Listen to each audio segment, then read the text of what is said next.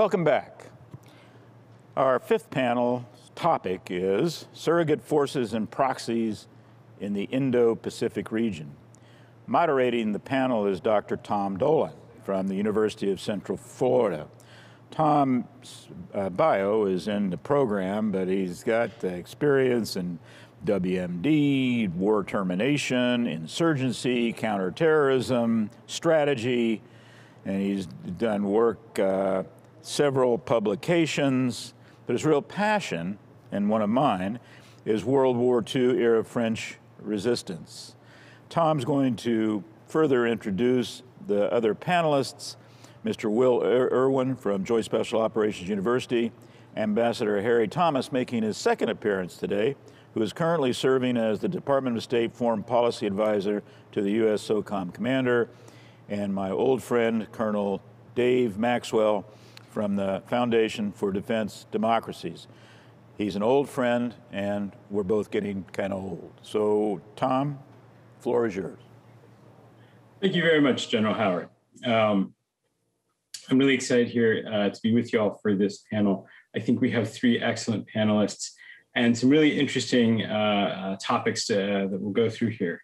Um, you know, each of these uh, countries that we're going to talk about, I think, is in some way a wild card with regard to U.S. strategy in the region. Taiwan's uh, potential uh, for resistance and resilience, the challenges that the Philippine state has had with with, with terrorism, and its and questions about its ability to, to fully resolve those. And then finally, North Korea, one of the great wild cards of the region. Um, we'll start off uh, today with uh, Will Irwin from JSOU, who's going to be talking about Taiwan, resilience and preparation for resistance. Thank you, Tom. And I would uh, also like to thank uh, General Howard, Dr. Wilson, Dr. Marsh uh, for putting this event together and uh, allowing me to be part of it. the Chinese Communist Party has made reunification of Taiwan with mainland China one of its foremost national priorities. Uh, while preferring to accomplish reunification peacefully, Beijing has indicated that it is prepared to use force if necessary, and especially in the event of a declaration of independence by Taiwan. I need to apologize up front. I'm hoping this laryngitis issue I'm battling will uh, cooperate today. My paper is intended to provide a cursory assessment of Taiwan's resistance potential in the face of threatened aggression by China. In calculating the uh, potential for resistance, I, I looked specifically at three factors, the terrain, the population, and the potential leadership and role of the resistance. For at least two decades, China has invested heavily in modernizing its armed forces and expanding its capacity for expeditionary operations, resulting in an undeniable quantitative overmatch in strength compared with the armed forces of Taiwan. Resistance on Taiwan, however, could present a whole new challenge to the PLA. Active counterinsurgency operations of a kind that are difficult even for the most experienced armies. I began by considering advantages and disadvantages for resistance uh, from a terrain perspective. And generally speaking, the terrain of Taiwan is favorable for resistance activities either of the urban or rural varieties. Uh, Taiwan's population, which is about 79% urban, is slightly larger than that of the state of Florida, yet its populace occupies an island that is roughly the size of the Florida panhandle, some 20% of the state's total area. Viewed another way, Taiwan is slightly larger than the state of Maryland, but is home to four times the population of that state. Now, taking that into consideration, uh, you might conclude that resistance activity in Taiwan would be predominantly urban based, and it could be. However, the uh, island's urban population is mostly concentrated along the northern and western coastal areas. The eastern two thirds of the island is rugged, mountainous, densely forested terrain. Some 32% of the island area consists of steep mountainous terrain over 1,000 meters in elevation, with sev- several peaks over 3,000 meters. The majority of the island, in other words, is ideally suited to guerrilla operations aimed at disrupting occupation force activities. As an island, the greatest challenge facing organized resistance on Taiwan from a terrain perspective is the lack of a secure cross-border sanctuary area. History has shown uh, such areas to be critical to effective resistance, providing secure political military base, areas for rebuilding and reorganizing resistance forces, safe from interference by government or occupation forces. Still, some form of sanctuary area might be possible within Taiwan's inner mountainous areas. Probably the most important factor in determining resistance potential is the population itself. Resistance can only effectively be conducted by a population of strong character, one that is resilient in the face of occupation, possessed of a strong spirit of opposition, and willing to accept risk to participate.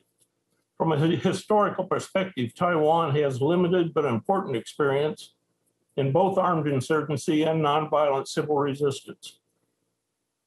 After fleeing to Taiwan at the close of the Chinese Revolution, the Kuomintang or KMT party ruled under martial law as a one-party authoritarian government from 1949 to 1987.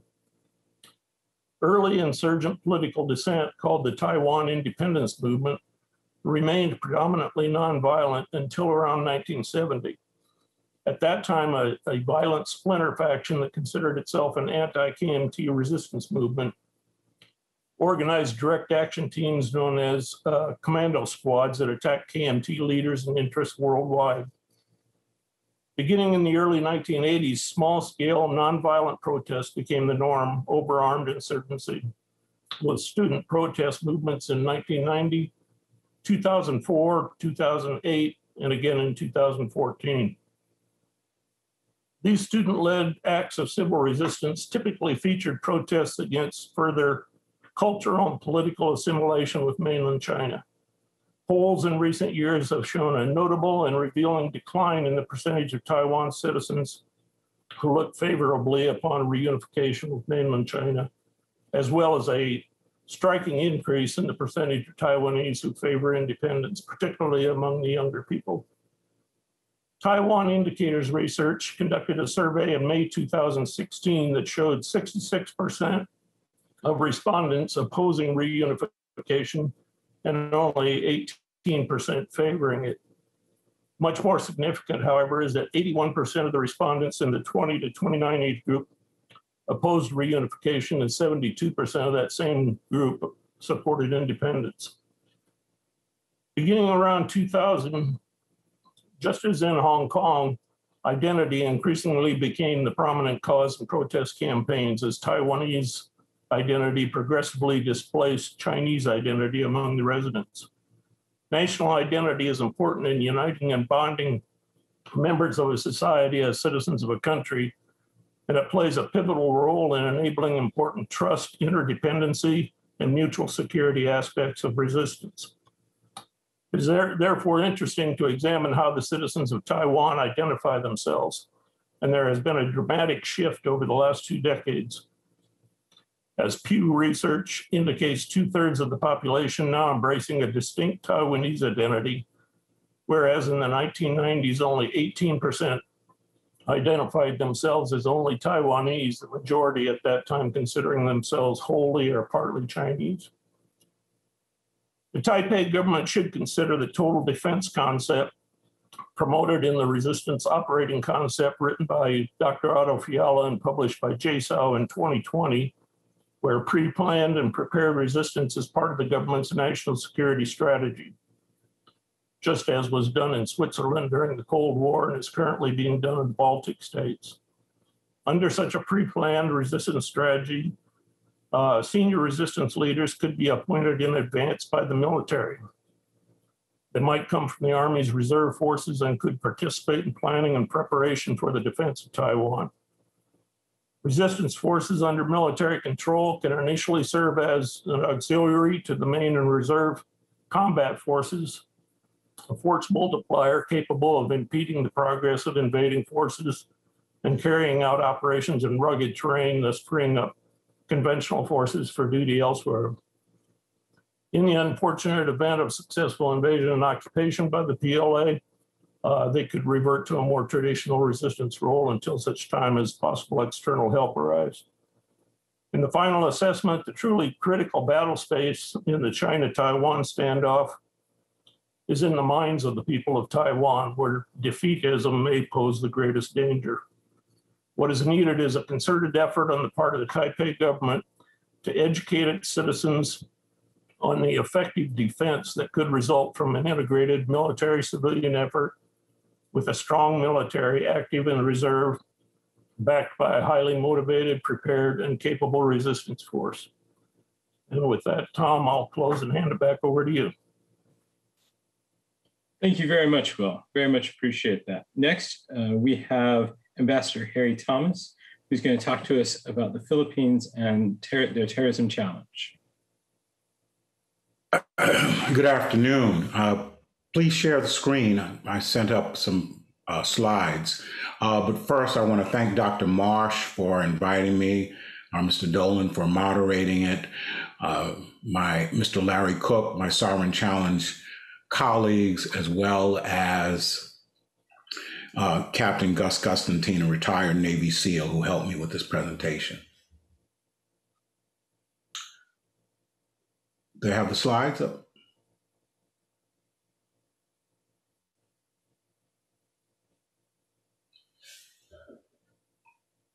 Um, if they don't have the slides, which were sent up, I will just talk. um, it's interesting. The Philippines has 300,000 square kilometers. Oh, here they go. Thank you. Can the Philippines address its terrorist challenges? Let's find out. Let's find out the history, the the demographics, as well as geographic challenges. Next slide, please.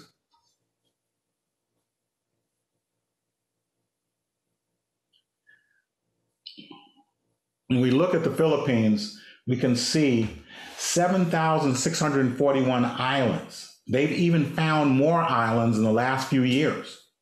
Only a couple thousand are inhabited.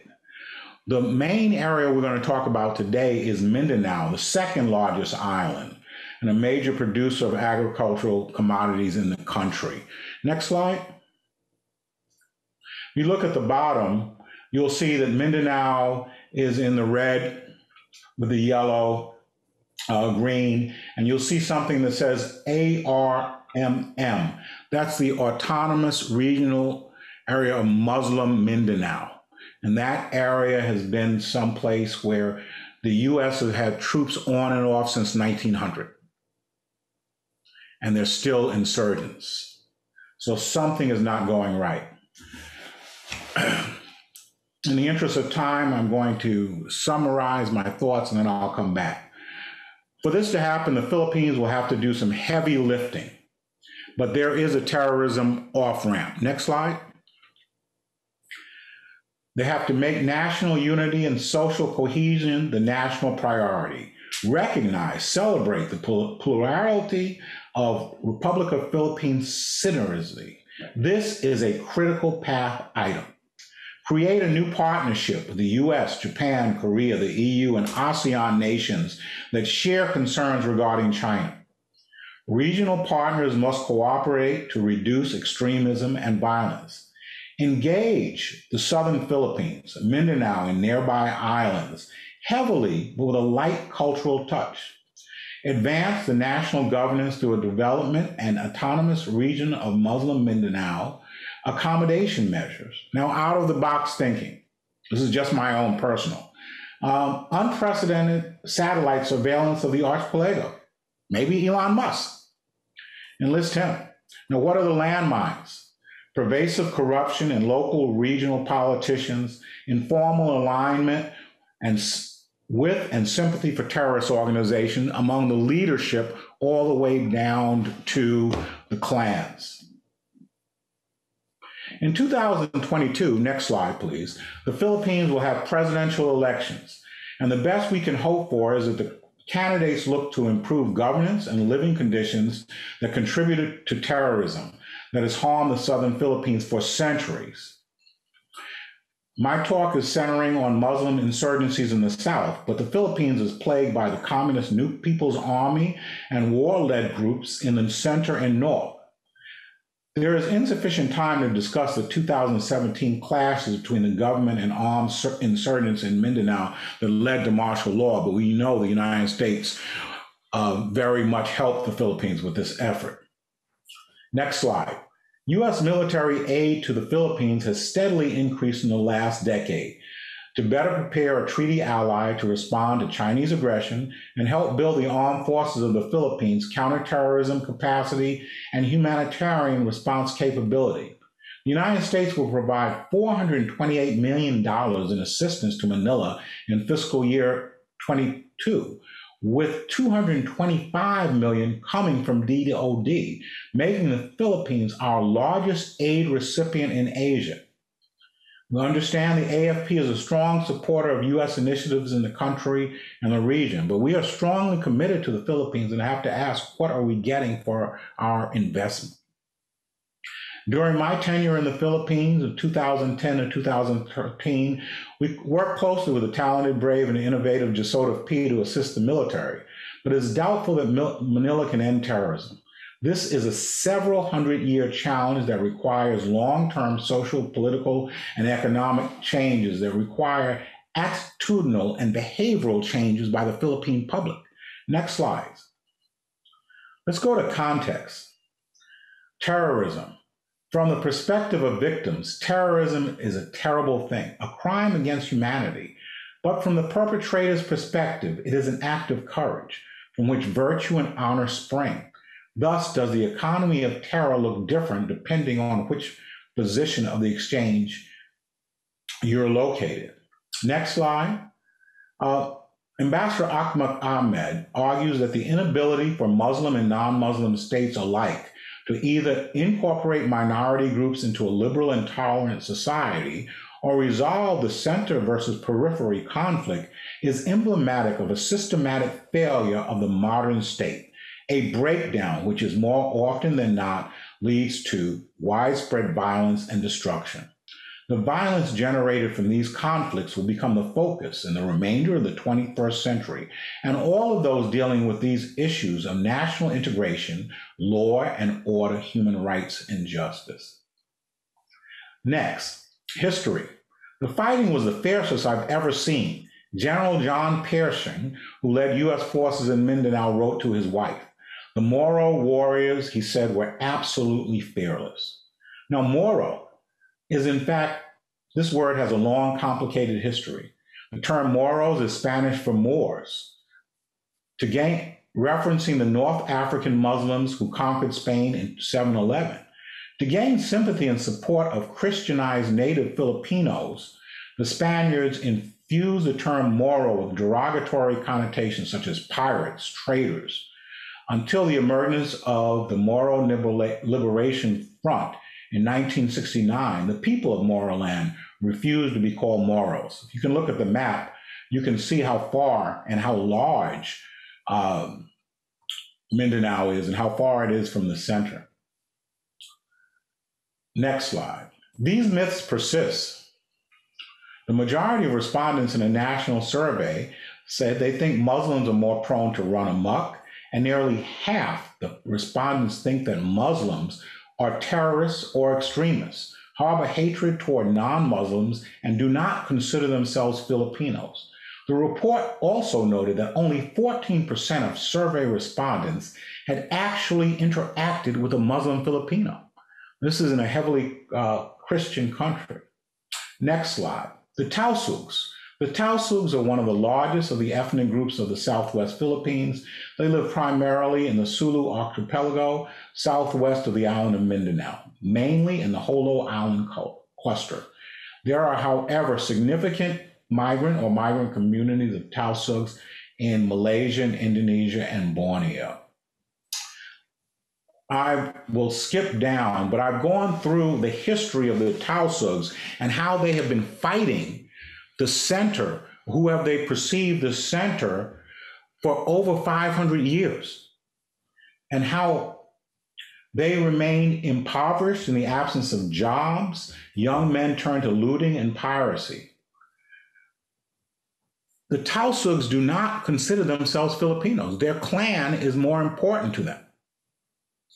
We have to understand that. and the relationship they've had with the center has always been complicated. They belong to MILF, MNLF, and Abu Sayyaf, and even some to JI.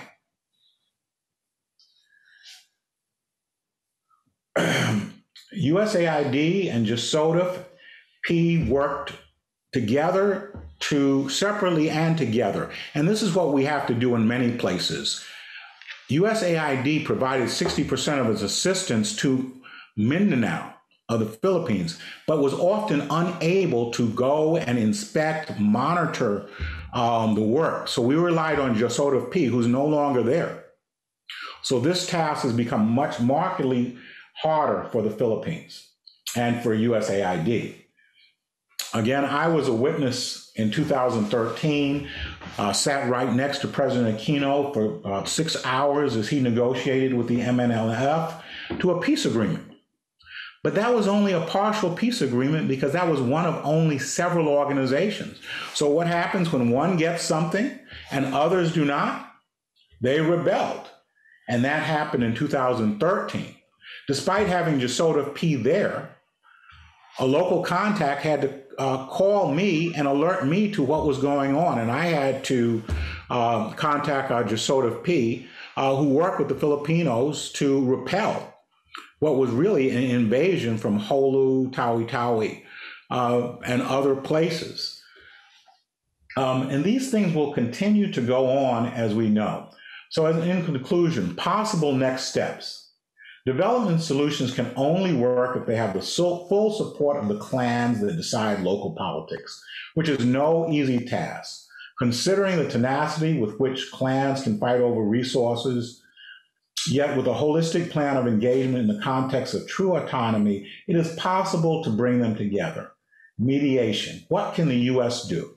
Understand the history and culture, train, advise, and assist assist Philippine government planning and assessments, maintain Philippine sovereignty and leadership, improve armed forces of Philippines capabilities, enhance legitimacy of national and local governments, and decrease support for terrorists. Thank you very much. Thank you very, very much, Ambassador. Uh, next, uh, we have uh, Colonel Dave Maxwell. Uh, thank you, Tom, and uh, thank you to uh, JSOU. Uh, good to see you, General Howard, and thank you to the organizers for the opportunity really to discuss a subject I don't think gets enough exposure, despite North Korea being in the news so often. Um, in today's great power competition, we face the revisionist powers of China and Russia, the rogue powers of Iran and North Korea, and of course the continuing threat of violent extremist organizations. And we think of GPC, great power competition, as mainly involving the US and allies versus China and Russia and like minded authoritarian governments. And my assessment of China uh, sums up my view of really our major competitor of in within uh, great power competition. Uh, China seeks to export its authoritarian political system around the world uh, in order to dominate regions, co opt or coerce international organizations, uh, create economic conditions favorable to China alone, and displace democratic institutions. Now, of the four revisionist and rogue powers, we tend to isolate North Korea as a separate and often lesser included case uh, within the larger national security challenges, and also because of its perceived uh, geographic confines to Northeast Asia. However, I would argue that the Kim family regime is actually a global problem, uh, and that one that, that could be a spoiler in great power po- competition. Now, what is a spoiler? Uh, the extreme type uh, in the international relations theory uh, uh theories are uh, it's the total spoiler, which is defined as groups or individuals that will never compromise or negotiate. You know, although the international relations theorists say this is actually quite rare, extremely rare, uh, I would argue that it applies to North Korea, and that has and that has important implications uh, for the U.S. and all of the uh, the powers competing in great power competition. Uh, North Korea has the potential through words and deeds to upend cooperation and competition, uh, and this could lead to conflict.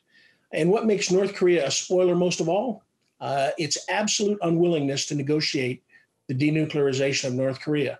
And it is its nuclear weapons that provide it the ability to operate around the world to achieve its objectives. Uh, and this can put a wrench in great power competition.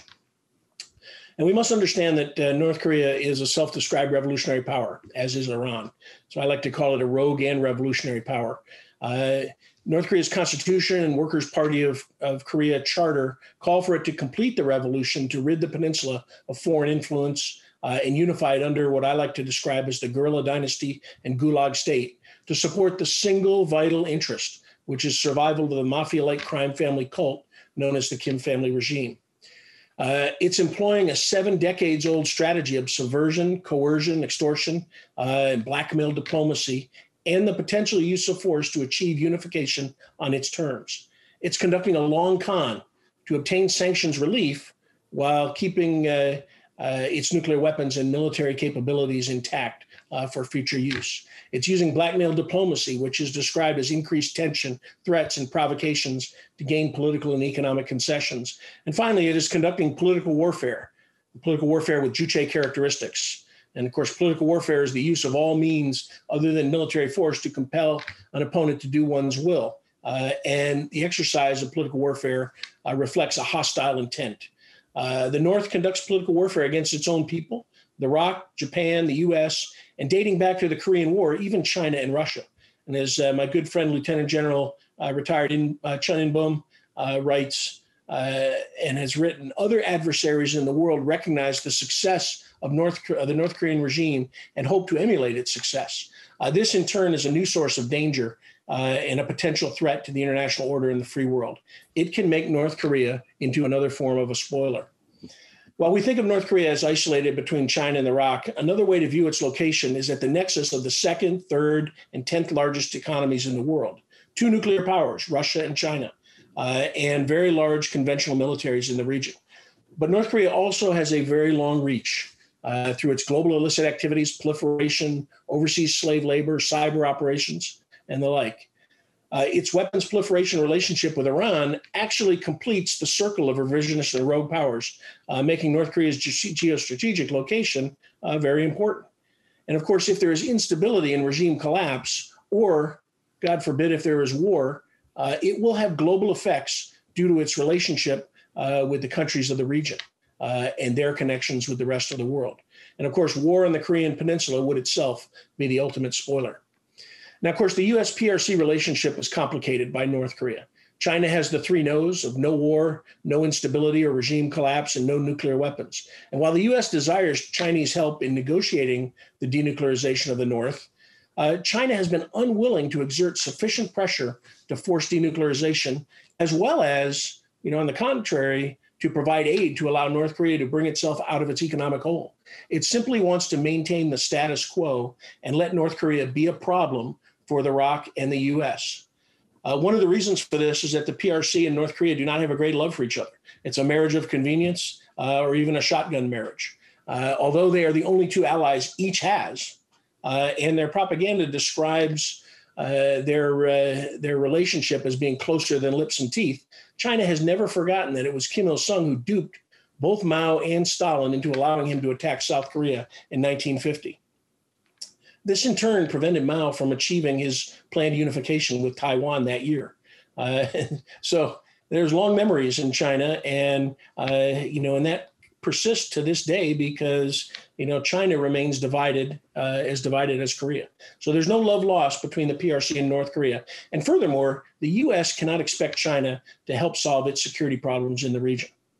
Now, like most countries, uh, North Korea acts only acts in its interests. Uh, but it, I think it takes it to its extreme. And for, for 70 years, it has demonstrated the ability to deftly play members of the international community uh, against each other.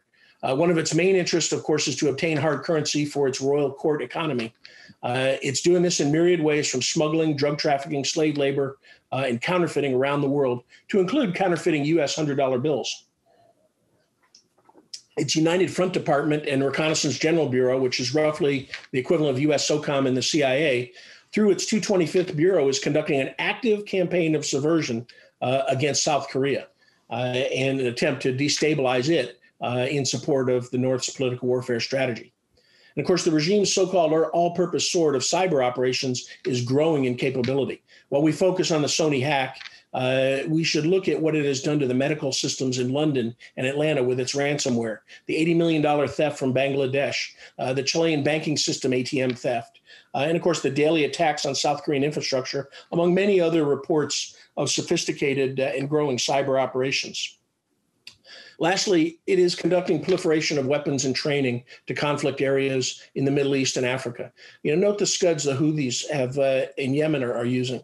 Uh, these come from Iran, who purchased them from North Korea. North Korea has provided extensive help uh, to the Iranian uh, missile program and uh, development program. In fact, as Dr. Bruce Bechtol has noted, if you see it in North Korea, you will eventually see it in Iran. And we should be grateful to Israel for destroying the nuclear reactor that was under development in Syria in 2007. Uh, this was being built with the help of North Korean technology and advisors. Now, let me stop and conclude here. We cannot think of North Korea as simply a shrimp among whales uh, that is confined strictly to a small piece of territory in Northeast Asia. Yes, North Korea poses an existential threat to South Korea as it seeks to dominate the peninsula either through political warfare and subversion or the actual use of force. But the problems North Korea generates go far beyond Northeast Asia. And as long as it retains its nuclear program, it will have the freedom of action to do whatever is necessary to generate the resources for the regime to survive. And this could serve as a spoiler in Asia and other parts of the world, and I think cause even greater friction uh, within great power competition.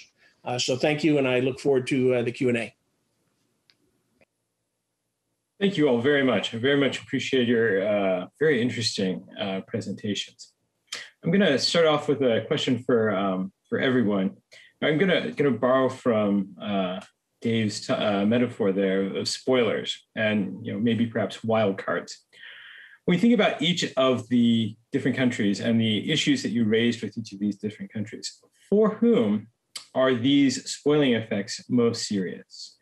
Uh, you know, I can think about, you know, certainly North Korea is an obvious spoiler for the United States, but as you mentioned, could also be a spoiler for uh, the People's Republic of China. When we think about uh, terrorists in the Philippines, we can, you know, this could have a number of different effects that could affect uh, not only the United States, but other countries' uh, relations with the Philippines and in that area. So how did, how, what potential spoiling effects could we see there? And finally, you know, if we think about the, the prospect of a, a Taiwanese uh, resistance movement, certainly that could, you know, potentially spoil plans for a quick invasion on the Chinese side. But that might also be a risk to the United States, uh, particularly if the United States finds itself in a position where it wishes to extricate itself from the situation more quickly, as is at least conceptually possible. So, you know, for whom are these, you know, the, these spoiling these spoilers, you know, the greatest risk? And where are the opportunities for the United States in these different spoilers? Uh, who, who, would like to go first? Uh, I'll go first. Tom, the, uh, talking about the resistance on uh, Taiwan, perhaps the greatest spoiler, as I mentioned towards the end of my talk, is uh, in the minds of the people of Taiwan and uh, whether or not they're prepared to defend the country conventionally, let alone taking part in resistance. Some there were reports that have come out just in the past couple of months about the uh, the problems they're having. You know, they're trying to transition uh, to a an all volunteer military, and it's having an impact. They're being challenged right now, filling the ranks. Uh, just a month or two ago, I saw figures where your overall armed forces are at about 80% of their authorized strength. Frontline units at around 60%. And uh, just two weeks ago in the Wall Street Journal, there was an article uh, talking about uh, another survey had been conducted over there. And it said that uh, the majority, based on the results of that survey, the majority of the people in Taiwan simply don't believe the Chinese Chinese will ever attack. So, uh, pretty challenging to put together a resistance movement uh, in, in a place like that. Possibly, certainly, possibly. Yes, uh, thank you. I think the spoiler effect in the Philippines is twofold. One is the Filipino people. Um, these are these terrorists. These are many terrorist groups. They're varied. Um, they can be a terrorist one day, a baker another day. They move from terrorist group to terrorist group because of clan organizations. But let's not forget, uh, while I was there, uh, these terrorist groups engaged in kidnapping American citizens. Um, some we got back, others um, passed away. That continues. Umar Patek, the Indonesian Bali bomber, married a Filipina and hid out in Mindanao before he went to Pakistan. So Malaysia trying, we need to have a, a, a, strategy that incorporates Malaysia, Indonesia, and the southern Philippines. But unless the Philippines improves its weak governance and lack of corruption and gives some leeway to uh, the locals, um, it'll remain a major challenge for us. Thank you. Yeah, so I think uh, I think all these areas can be spoilers. I think, as you you're really implying, um, and and I think you know first and foremost, I think they can have an effect uh, in their local geographic area with their main competitors uh, and and upend uh, uh, upend things. Um, but what I think is really important uh, and common in dealing with all of these, um, and the opportunity that you're really asking about, and this is what I'd really like to get at, is first and foremost, we need to understand the strategies how they can be a spoiler, why they would be a spoiler. We need to expose those strategies uh, because uh, that can help undermine the legitimacy of those strategies and the legitimacy of those spoiling actors. Uh, and then, of course, we can devise uh, political, economic, uh, information, diplomatic, and, and, military action to counter them. But I, would really, uh, you know, like to make the point that thinking of them as spoilers is one way to analyze the situation. Uh, but even if they're not spoilers, I think we need deep understanding of these problems and we need to identify their strategies and be able to expose them. And, and that's got to be part of our influence campaign, information influence activities uh, to expose strategies. I think Sun Tzu said it, you know, what is of supreme importance is to attack the enemy strategy. First you've got to expose it you know first you understand it then expose it and then we can attack it. And and that's what i think is the common opportunity uh, in all these areas. Thank you very much. Thanks. Um, i have a couple more questions um, uh, more individual questions. Um, so I'll, I'll, kind of work through the the order that we went before so um, will you know i think there's some really interesting uh, issues that you raise here uh, what i think about um, you know, resistance, I think about, you know, what does the occupation look like? Because the shape and character of the occupation has a strong influence on the character of resistance and even the possibility of resistance, right?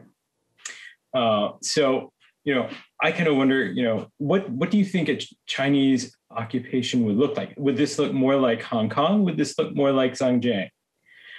And what role would things like uh, Chinese, you know, Chinese monitoring uh, technology, you know, the, the, deployment of things like AI and so forth, uh, have on the prospects, do you think, of a uh, possible resistance movement in Taiwan?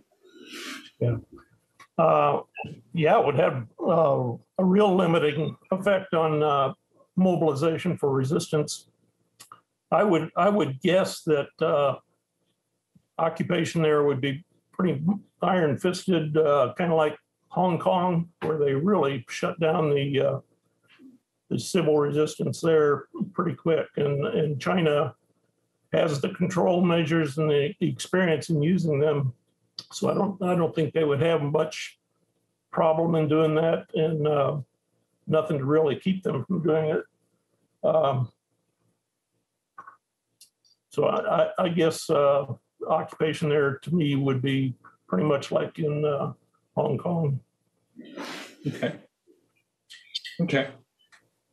Um, I know that Dave actually has a kind of a follow up question for you as well, Will. So I'll just let him go right now.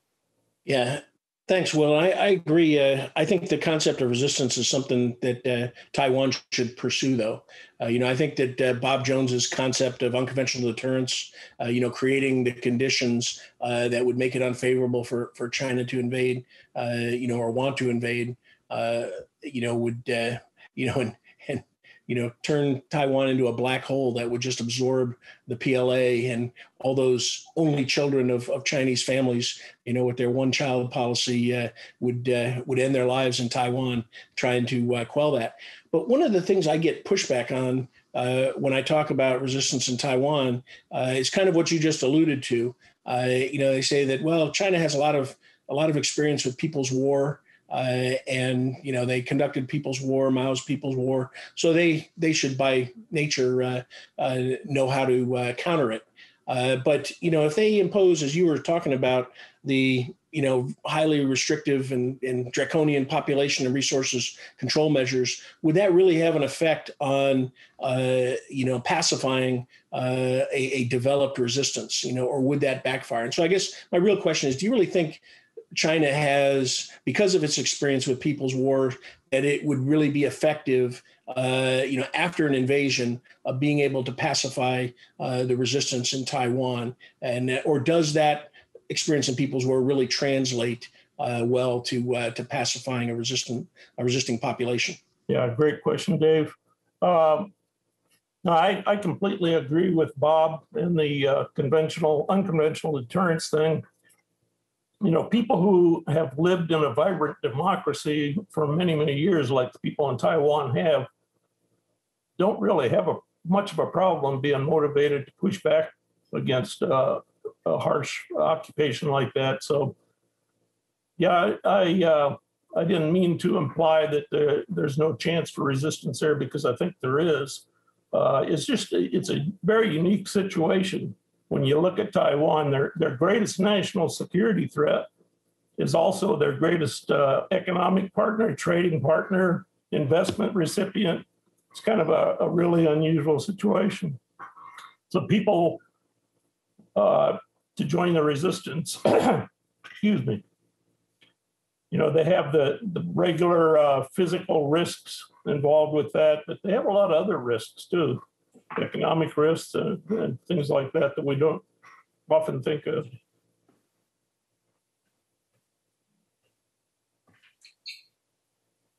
Thank you.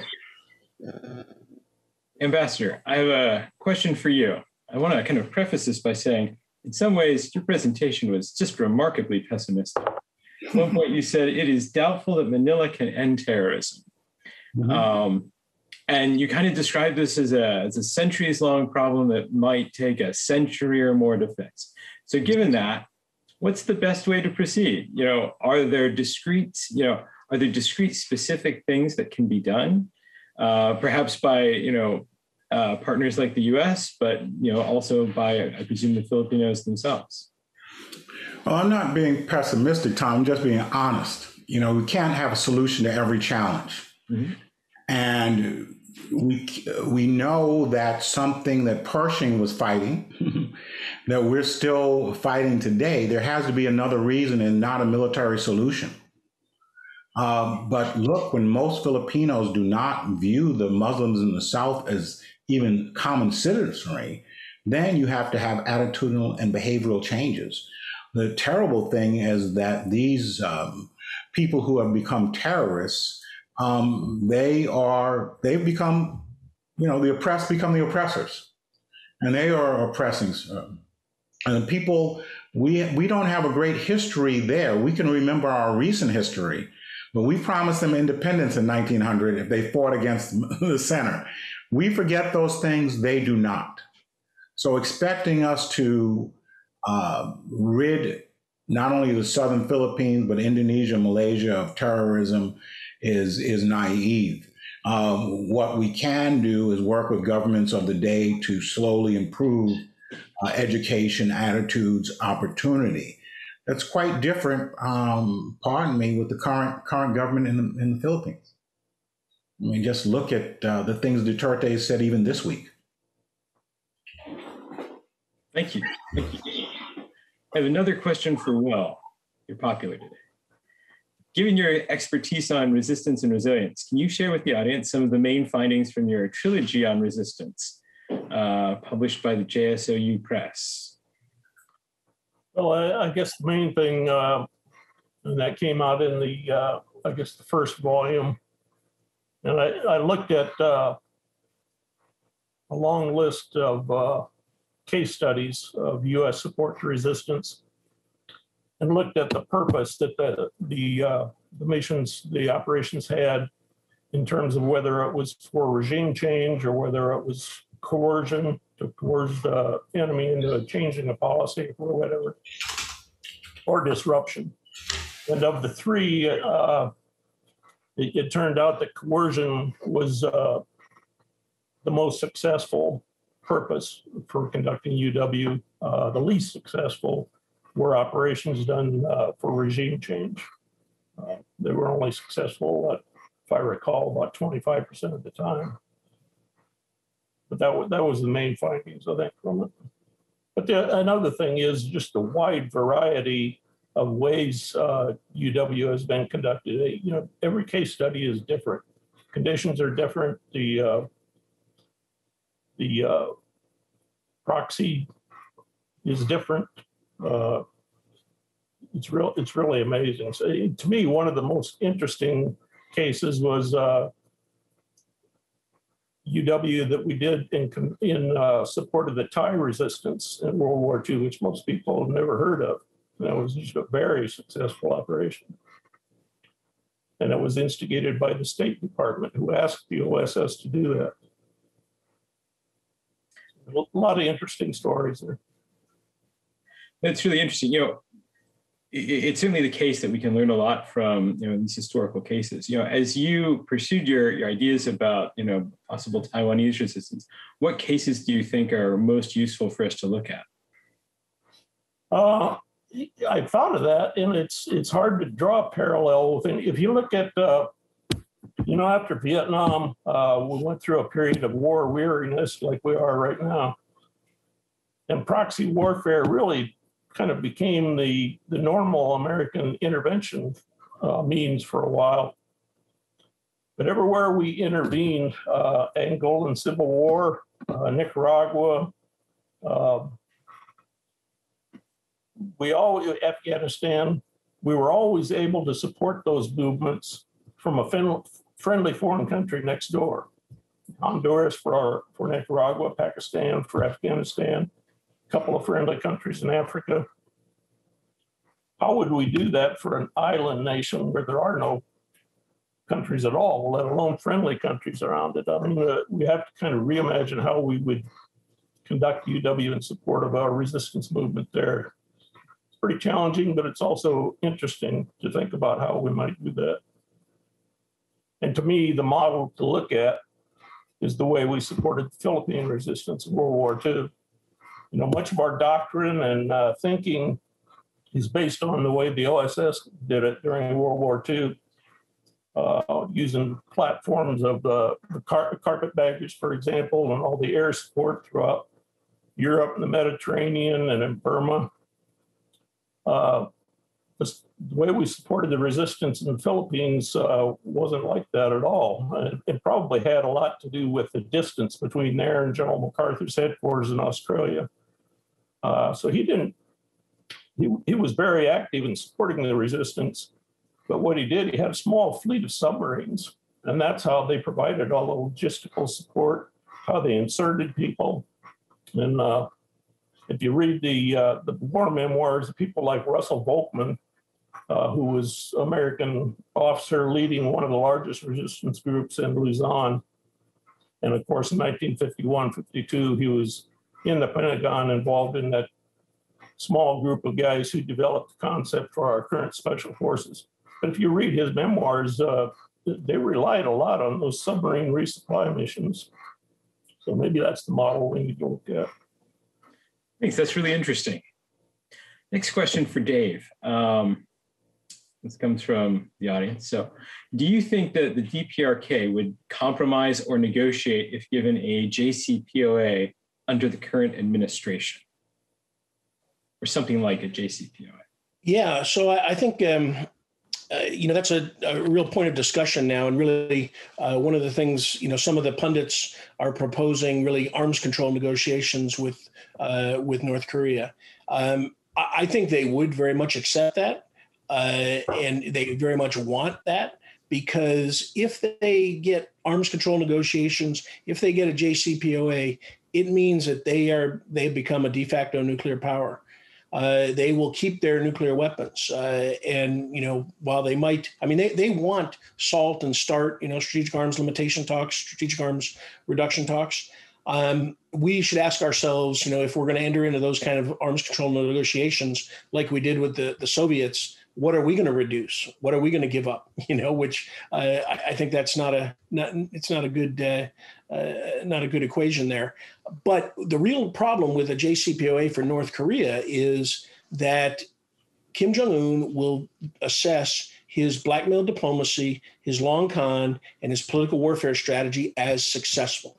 Uh, that he will extract concessions uh, from the U.S. and the West. He will keep his nuclear weapons, and he will be able to continue to develop his military capabilities uh, and conduct his subversive activities uh, to pursue his strategic aim, which is unification of the peninsula on its terms uh, to support its single vital national interests, survival of the Kim family regime. So I'm opposed to a JCPOA uh, or any kinds of arms control negotiations. Um, I think that that would just cause Kim Jong Un to to double down on his strategy, uh, and it would, you know, continue provocations and of course always have the potential to lead to miscalculation uh, and uh, and ultimately conflict. Thanks. And I have another question for you as well, also from the audience. It says the DPRK has shown the capability to use CWA on a small scale. Do you assess that they have a larger capability that they would use offensively in conflict? Well, most of the uh, open source intelligence estimates that uh, that we've seen is that they, you know, we we kind of throw around five thousand tons of chemical weapons, you know, as well as a biological weapons program uh, as well. Um, I, I, believe that if they have chemical weapons, just like having nuclear weapons, they have the intent to use them in conflict. Uh, you know, quickly, North Korea's strategy uh, is much like 1950. To be successful, they have to rapidly attack South Korea and occupy the entire peninsula before the United States can uh, reinforce the peninsula. I mean, that's really its campaign plan in a nutshell. And to do that, we are likely to see at least the use of chemical weapons on ports like Pusan, Pyeongtaek, uh, Pohang, uh, you know, Chinhae, uh, to prevent that reinforcement. Uh, and so I think that, and of course, I also think that they do not view uh, weapons of mass destruction with the same taboo that we do. Uh, they are tools to be used in support of their objectives, even though you know, our declaratory policy says that we can respond uh, to use of weapons of mass destruction. You know, we can have decisive uh, response to include nuclear weapons. Uh, I think if they go to war, they're going to use all their capabilities, uh, and that includes the full range of weapons of mass destruction. And so we need to prepare for that uh, if there is conflict, unfortunately. Thank you. Thank you for that really great answer to that question. Um, we're approaching the end of our time. So does anyone have any final thoughts that they'd uh, like to share before we hand back off to General Howard? We'll start with Will. Uh, the only final thoughts I have, I, I, I, do have a question I'd like to ask Dave. Uh, you know, from time to time, we see a, a, North Korean soldier make it across the border in South Korea. And I'm just wondering, in all your research, if you've seen any uh, indication of dissension, dis- disenchantment among the ranks there? Yeah, I, just did a, um, a, a, last week was North Korea Freedom Week, and I did a panel uh, with uh, four escapees uh, from the North, and you know they are adamant that there is a thirst for information in the North. Uh, they are willing to risk uh, the punishment to receive information uh, because they want to know the truth of the outside world. Most of the escapees, defectors, uh, I like to call them escapees rather than the pejorative defectors. Uh, most of them, uh, when they learn the truth, you know, they tell us that you know they wanted to come, they wanted freedom. You know, they they really learn freedom uh, from uh, from information of the outside world. so there is, I think, nascent resistant potential. We we see uh, you know, going back to the Sixth Corps back in the 90s, uh, that was that you know tried the coup. We see all of the uh, resistance against uh, you know monuments and statues, particularly up in the north along Hyesan. Uh, there's lots of indicators uh, that, and and of course the military. you know, lots of problems within the military now. Um, there's potential, but there's really no way to exploit it internally.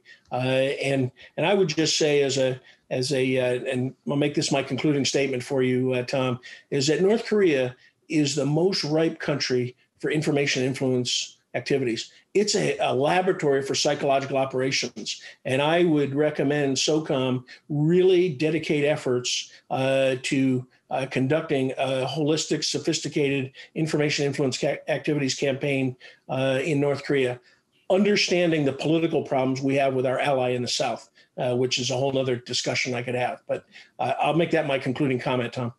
Thank you very much, Ambassador. Final thoughts? Yeah, uh, thank you. I really do think that the United States presence in the Philippines, the military presence, development uh, presence, and assistance is a force for good and change and role model. And that being there, using it mutually beneficial reasons is critical. And that the Philippines is one of the nations in our chain of pearls for Chinese deterrence from uh, North Asia all the way down to Australia. And we have to, to remember that. Uh, but we can't be naive and expect quick solutions, uh, especially when we have imperfect partners. Thank you very much. And thank you to uh, all three of our presenters. This has been, a, I think, a really great discussion, and I'm glad that I was able to take part. If we were with people in person, I'd lead everyone in a round of applause, so take that as given. And with that, I'll hand off back to uh, General Howard. Thank you, Tom. Well, final panel was outstanding. Uh, thank our ambassador for making two appearances today. We've covered many interesting, relevant in topics from the evolution of great power competition to strategic competition. Our discussion has spanned the globe from China, East Asia, South America, Africa. Tomorrow, we will continue our discussion with an in depth look at strategic culture, both China and Russia, and also experience a outstanding keynote address to be delivered by Brigadier General Joshua Rudd, Commander of Special Operations Command Pacific, a truly boots on the ground commander.